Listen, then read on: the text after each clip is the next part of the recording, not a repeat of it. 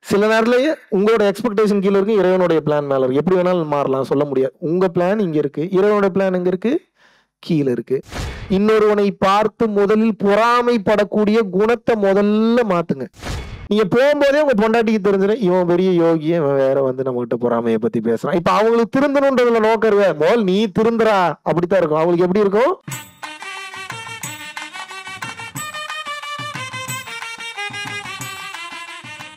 கத்தி எடுக்கல ரத்தம் பார்க்கல எந்த ஒரு ஆயுதமும் எடுக்கல எதுவுமே எடுக்கல. யாருமே உங்களை ஒண்ணும் பண்ணல. ஏன் வலிக்குது உங்களுக்கு?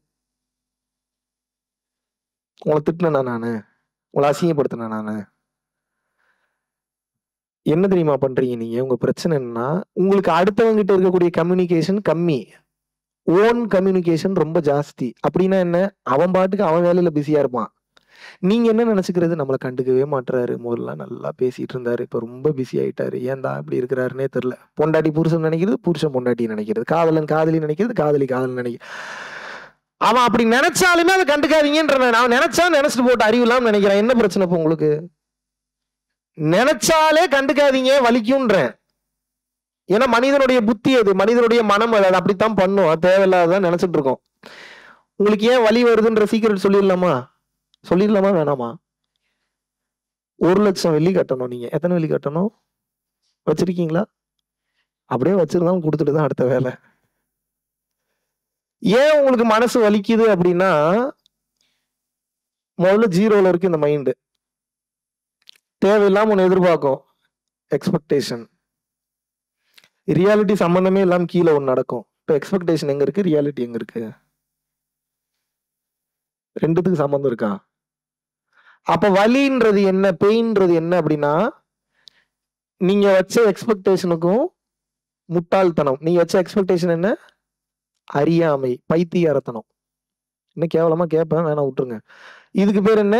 Expectation anything any expectation any kind of expectation I'm saying இறைவனுடைய பிளான் என்ன?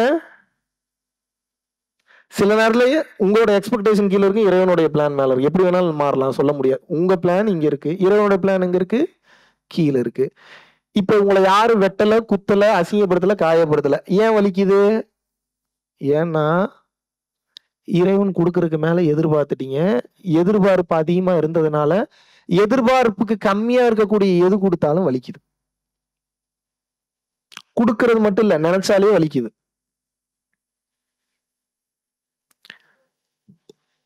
ஃபோன் பேசணும்னு எதிர்பார்க்குறீங்க ஃபோன் பேசலைன்னா வலிக்குது. ஒரு உதவி செஞ்சா அந்த உதவிக்கு நன்றி சொல்லணும்னு எதிர்பார்க்குறீங்க நன்றி சொல்லலைன்னா வலிக்குது. இப்போ நன்றி சொல்றதெல்லாம் தப்பாப்பான்னு கேட்காதீங்க. அதெல்லாம் நல்ல விஷயம் தான் நான் என்ன சொல்றேன்னா காஸ்ட்லியான குணங்களை சீப்பான பீப்புள் கிட்ட இருந்து ஏன் எதிர்பார்க்குறீங்க? ஸோ காஸ்ட்லியஸ்டான ஆக்டிவிட்டிஸ் ஆட்டிடியூட சீப்பான ஒரு ஆள்கிட்ட ஏன் போய் எதிர்பார்க்குறீங்க? வருமா அது அவங்ககிட்ட இருந்து? எப்படி வரும்? எங்கேருந்து வரும்? வருமா? இப்போ உங்களுக்கு ஒரு பெரிய ஹீரோயின் இல்லை ஹீரோன்னு நினைப்பு உங்களுடைய மனைவி அல்லது கணவனுக்கு ஒரு ஹீரோயின் ஒரு ஹீரோன்னு நினைப்பு. இப்போ எங்க பிரச்சனை ஆரம்பிக்குது அப்படின்னா அட் த எக்ஸாக்ட் மூமெண்ட் நான் ஒரு பிச்சைக்காரன் உங்க மைண்டுக்கு போறது இல்ல நான் அனைத்தும் ஆசீர்வதிக்கப்பட்டவன். இது பாசிட்டிவா இருந்துட்டா பிரச்சனை இல்லை. ஈவோக்கு போயிருது. எவனையும் மதிக்க தோணாது ஹெல்ப் பண்ண தோணாது சப்போர்ட் பண்ண தோணாது உதவி பண்ண தோணாது எதுவுமே பண்ண தெரியாது. ஒரு கட்டத்துக்கு மேல என்ன ஆயிடுது அப்படின்னா இது உங்களுக்கு வலி வேதனையை கொடுக்கும். புரியுதா? தூக்கம் வருதா?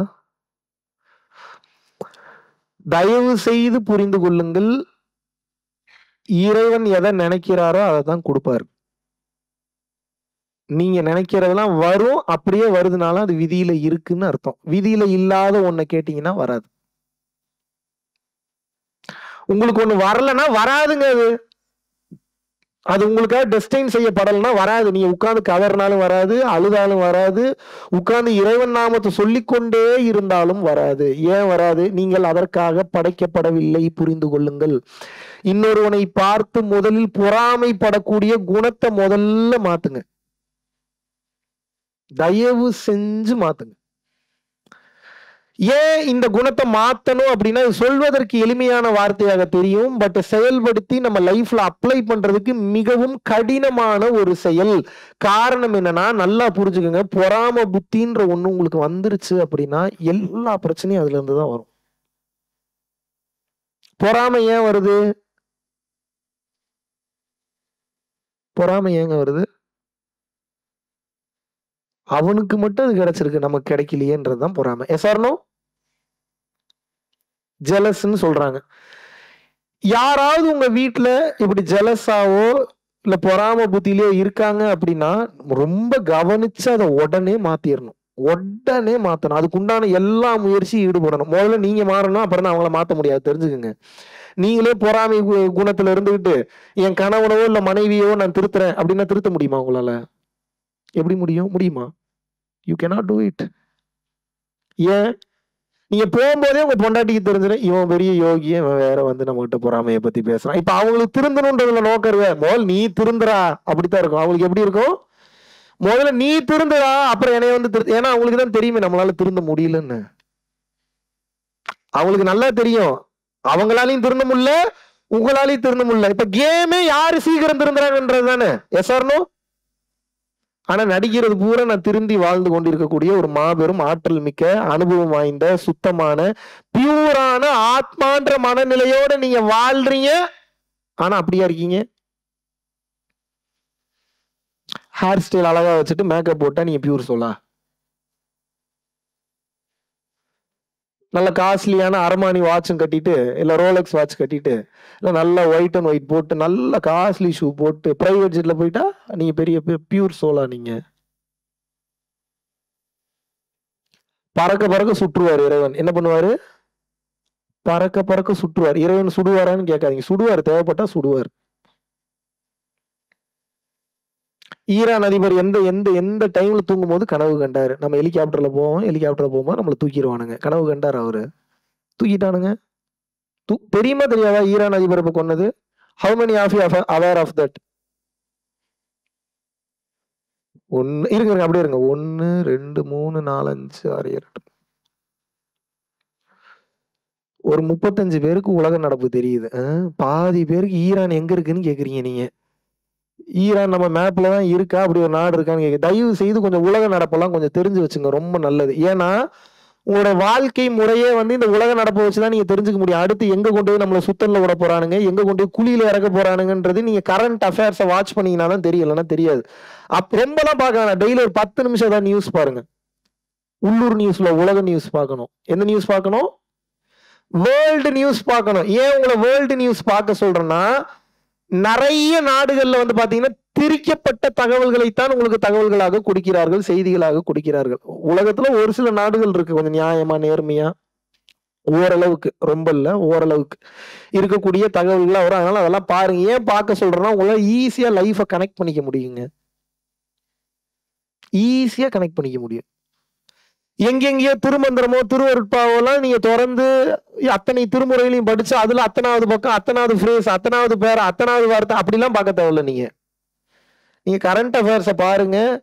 கருணையையும் சரணாகதியும் தவத்தையும் கனெக்ட் பண்ணுங்க. புரிஞ்சிடும் உங்களுக்கு. தத்துவம் எல்லாமே புரிஞ்சிடும் ஏதோ ஒன்று உங்களுக்கு தெரியலையா? தெரியாத விஷயத்த எங்கிருந்து யோசிக்கணும்னா கருணையிலிருந்து யோசிக்கணும் சரண்டர் ஸ்டேஜ்ல இருந்து யோசிக்கணும். அப்பதான் பதில் கிடைக்கும். புரியுதா? உங்களுக்கு ஏதோ ஒரு கேள்விக்கு பதில் தெரியலையா? நீங்க என்ன பண்ணணும்? கேள்வி கேட்பதை கருணை நிலையிலிருந்தும் சரணாகதி நிலையிலிருந்தும் அந்த கேள்வியை கேட்க வேண்டும். அப்படி கேட்டீங்கன்னா பதில் கிடைக்கும். எப்படின்னு தானே கேக்குறீங்க? எல்லா கேள்விகளுக்கு உண்டான மொத்த ரகசியங்களும் மொத்த பதில்களும் கருணைக்குள்ளேயும் சரணாகதிக்குள்ளேயும் மெடிடேஷனுக்குள்ளேயும் தான் ஒளிஞ்சிட்டு இருக்கு.